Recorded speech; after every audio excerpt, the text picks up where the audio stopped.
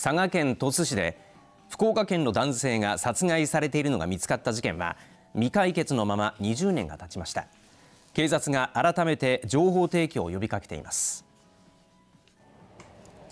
2004年2月9日鳥栖市飯田の九州道沿いの市道で側溝に脱輪した軽乗用車の中で立洗町の会社員入口和俊さんが頭を鈍器のようなもので殴られ殺害されているのを探していた母親が発見しました。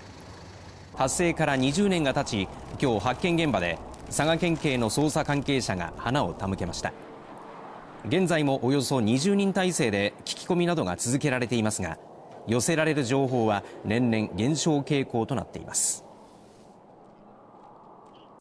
今だから話せること些細なことでも構いませんのでぜひ情報提供をよろしくお願いをいたします。